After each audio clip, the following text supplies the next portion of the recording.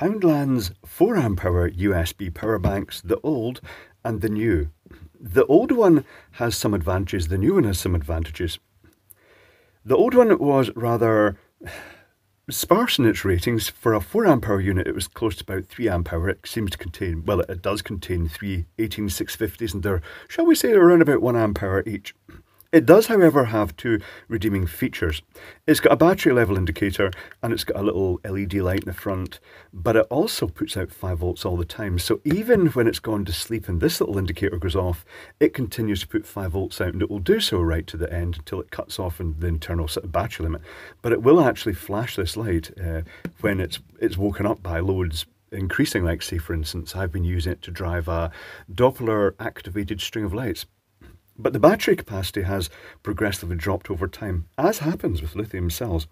The new one contains a big fat 4 amp hour cell and it does test, test, test out at 4 amp hour. It also, well, I'll load this up and show you.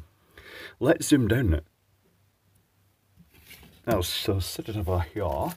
I shall plug in a, actually just shove that out of the way, I shall plug in a USB load and show you that it sustains a 2 amp hour load continuously, but the voltage starts falling off round about, let me just wind this up here, started to drop off. Uh, it's holding, it's holding, I think it's about 2. Point, hold on, let me think. It's 2.5 amp hour. Let's just run right up to 2.5 amp hour it's holding 4.91 volts, 92, uh, 2.5, so it's rock steady at that, but as soon as you go beyond that, the voltage starts to drop. You can see the voltage dropping there, and uh, when it gets up to about 2.7, it will cut out. Let's just keep winding this up. 2.71, 2.72, 2.7, and it's cut out. So it's not bad. It does have two outputs, and it says dual 2 amp output. What it actually means is like 2 amp for the whole lot, as these things usually do. Let me show you how you open this, and then we'll try and get this out. I'm going to take the circuit board out and we'll check it out as well.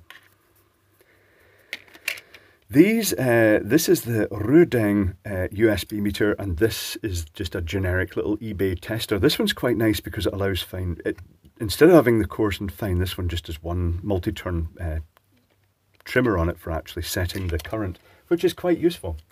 I shall pop that up there, out the way. I have marked this so you know how to open it. So you open it from the other side, from the text, this side. And if I zoom down this, you'll see I've marked measurements. The lines at the end indicate these little clips that are pretty much just either side of each one of the sockets here. The other ones are a little grip, and it does grip quite tightly. It's got a little tooth at the back of it. And uh, the measurements are the from that end with the text facing down from the USB socket end 35mm 60 83 90 in from each end and then 27mm 55mm 83mm to get this open, you really have to. It depends. One of them came apart easily. One of them did not come apart easily. Uh, this one came apart easily, but you push the screwdriver, the, the spudger, should I say, and really it go it hits at a ledge first, but then you push it a bit further and then down, and then you can actually lever it up. Just be careful when you do it because I would recommend discharging the battery completely before you do that. Not much to see in the circuit board, but that's only because we haven't taken it out yet let's use isopropanol. Someone said you should, you know, should use uh, petrol for this, and I was a bit skeptical about that. Uh, in reality, the only things that are going to get the, the glue to dissolve are uh, flammable solvents. So here goes the isopropanol.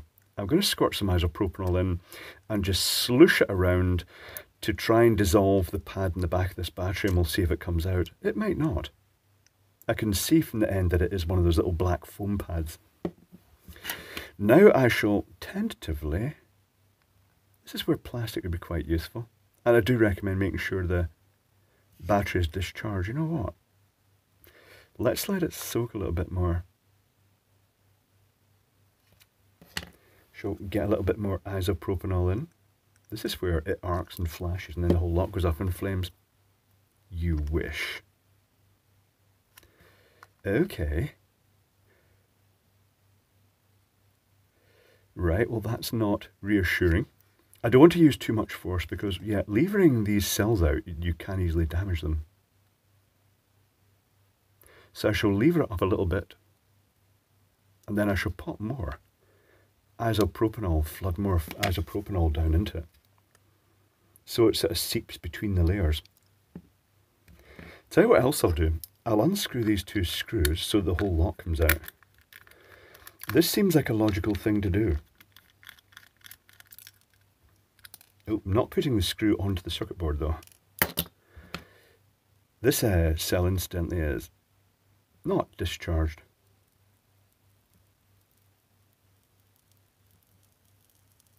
I can hear the glue giving or that or the, the battery is sizzling. It's like diffusing a bomb. Oh, it's coming off quite cleanly. That's nice. Oh, there we go. And it's left the pad. It's come off fairly cleanly, a slight ripple in the layer, but the layer has not been punctured, which is important. If you do puncture the foil thing, then I recommend discharging the battery and getting rid of it because uh, once you've punctured it, the electrolyte's going to sort of leak out. It's going to vent over time. If you damage it and it starts getting hot, as always, just throw it in a metal container and get it outside as quickly as possible. Let's take this little thing off. What is the circuit board revealing? The circuit board is revealing a little 8-pin chip, but it's a dedicated uh, switchwave 8-pin chip. That is an interest component there. What is that? Oh, I'm guessing that is probably, it's next to the negative connection. I'm guessing this might be a hybrid uh, DW01 style battery protection chip. Right, tell you what, I'm going to get this circuit board off uh, and then we can take a closer look at it. The reverse engineering is complete. Let's explore. It's not too bad. I shall zoom up in this to get as much in shot as possible within reason. It's all based around an IP5306 chip. If you look at the back of the circuit board, you can see that that chip is here because I flipped this image around and it's got plated through holes coupling it thermally onto a large ground plane. The ground plane is also used to secure the uh, connectors, it's pretty solid. Um, the only point the ground plane breaks is when it comes to the battery. There is a protection circuit here for the battery. If I bring in the data sheet for that, it is a XB7608A. Basically, it combines the MOSFETs and the voltage protection of the DW01 into one chip. And it only has three connections, although there's actually five connections on the chip. Two of them are doubled up. VM is doubled up, and it's the main negative. Uh, ground is doubled up, and it goes to the negative of the battery. And VDD is used to sense the voltage across the battery. So to analyze that bit of circuitry, here is that chip here. The two big pads are going to the general mass, the general sort of ground everything.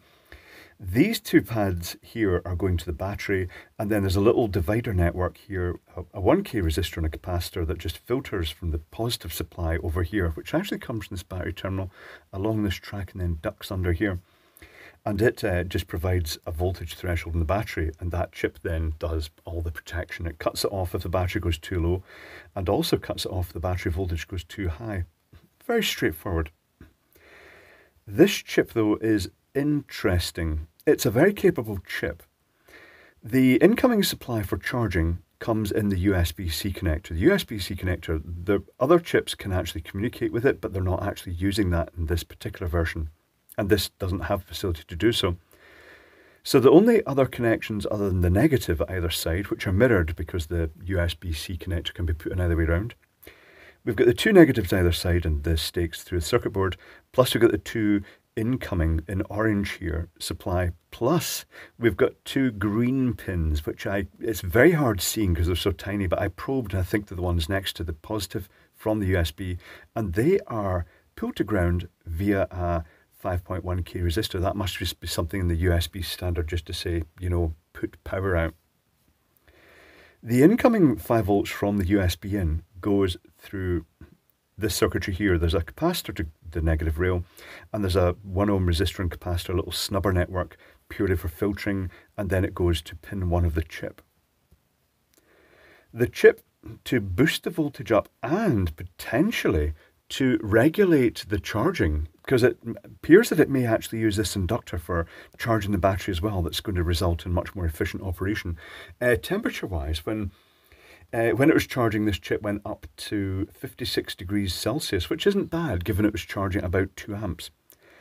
Um, when it switches though into uh, output mode and it uses this inductor again, it switches the inductor via this uh, pin 7 uh, and then senses the voltage coming back from the battery as it boosts it up via the purple marks here. Now, there is a variation from the circuit diagram here.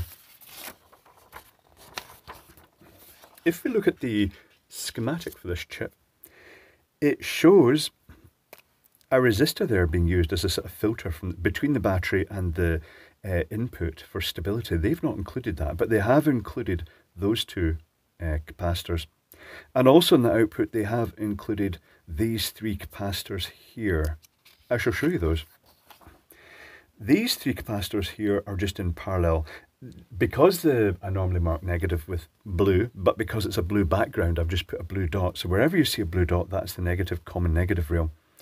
And they've got the, the cluster of three capacitors here, uh, which are connecting to the positive outputs of these which are common together. Uh, and that's boosting the voltage up from the battery positive via the inductor to actually provide a stable 5 volt supply at the output of those.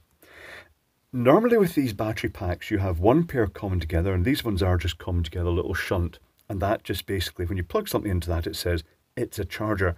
Usually you can have, uh, for iPhones when they're fussy about that, it just depends which era of phone it is but you can, you've got the option here for, uh, as in the schematic, the actual manufacturer's data sheet, it's got the options for loads of resistor arrays and a transistor for some reason, not sure what that is. But in this instance, they've brought those two tracks down to that circuitry here. And then they've just put a link across it. So they're just basically both are linked. They're both just dumb. This is a charger type port. What else is there to say about this. Let's take a look at the schematic. Other things, there's the LEDs and the switch. Um, and uh, there's a 1k resistor here's the switch and a 100 ohm resistor here's the LEDs. This is the wrong picture. This is the right picture. This chip has the facility to have one of these little, you know, these little, um, uh, wait, this is this, I think this is going to sleep. Mm -hmm. There it goes uh, the little LED in the front. Mm -hmm. Let's double click that one. Some are double click, some are just long click. The key output can either go, well, it goes to the button, and but you don't need to use this. And in this instance, they've not used that. So this is a 1K resistor. But uh, if they wanted, the reason it's a 1K resistor, because if the LED, that pin is used just not only as a button pin, but it's also used in output to the LED, this I mean sort of like flashlight LED, torch LED. And there's a resistor option for a resistor and series that LED. And if they push the button while that was powered, it would effectively short that out. So there's a resistor in series with the button. There's also in this case, they were using three to three pins to control the LEDs. But they've put a 100 ohm resistor in here just to tame the intensity down, which is reasonable enough. But by using uh, tri-state multiplexing, they're allowing the switching of these LEDs. They can control the four LEDs basically from just three pins. Potentially they could control more LEDs from three pins. Technically speaking, they could control six, but in this instance, they've... Is that right? No, it's not, is it? That is more or less... No, they could have actually, if, the, if it was true tri-state multiplexing, they could also have a pair of LEDs between there, but they don't need that. It's just driving four LEDs. Uh, that is more or less it. There's the uh, incoming supply with the capacitor across it and then the snubber network, the resistor and the capacitor. On the data sheet, they so show a different value of resistor, but I suppose ultimately it's just as, it's, as a low value resistor. It's just a sort of filter network. Things worthy of note about the schematic, the, the unit in general. The old power bank If it was charging, the outputs turn off. This one doesn't. This one, if you are charging this unit, here's the empty case. If you're charging it um, from the USB-C and you were to power something, say Arduino or your little 5 volt circuit from it, it, it will actually put power out to that circuit. And then you, so you can use it as a little uh, UPS so that if the power fails, it'll switch back to battery. And then when the power is restored again, it'll charge the battery while also powering the circuit, but only at a low loads. I measured the temperature of the chip. During output at 1 amp load, it was 38 degrees Celsius. And then as a worst case scenario, I let the battery voltage go down to about just barely on the point of cutting out about 3 volts and uh, put a 2.1 amp load in it and it went up to 90 degrees Celsius. But that's like the worst case, it's that's as hot as it's going to get. And it is at least dissipating that heat across the whole back of the circuit board. Although once it's in the plastic case, that does restrict the heat, so it will get a bit hotter. And the standard 1 microhenry inductor. That is about it. There's not really much else to say. It's just standard chips. IP5306. Uh, and that other little chip, the protective chip for the battery, which is the XB7608A. This one also appears to protect against battery reversal, which I don't think the DW01 does. Not sure about that. But there we go. Uh, that's not bad. It does seem to check out as a 4 amp hour cell in this. Where is the, the unit? Let me just grab it. It's charging at the moment. It does seem to check out and it's labelled as a, a, a 4 amp hour cell. Where is the other battery? It's in a bag somewhere. I got two of them and uh, experimented. I have to say, one was easy to open, one was hard to open. Just be aware of this when you're you're crowbarring in with your uh, tools. Make sure it's discharged first. Make sure once you've done it that the battery's not been damaged. Um, but it does appear to be a 4 amp hour cell, so it's useful for scavenging out. But note that it is not a drone grade cell. It's only designed for low current ish loads like these. With the drone cells, uh, they, they'd have loads and loads of tabs in the positive. It'd be loads of separate plates. This is one one single wound foil. So it's not capable of super mega high currents for stuff like that. But it's still a useful battery in its own. Uh, but to be honest, uh, given the quality of this um, and the fact it followed most of the schematic, the manufacturer's recommended details, I would say leave it as a charger because uh, it's pretty good for that. I mean, obviously, steal the battery out if you want. It's it's a cheap and easy way to get a battery off the shelf at short notice. Um, but anyway, as a charger, it's pretty good. Yeah, I think that gets pretty good marks.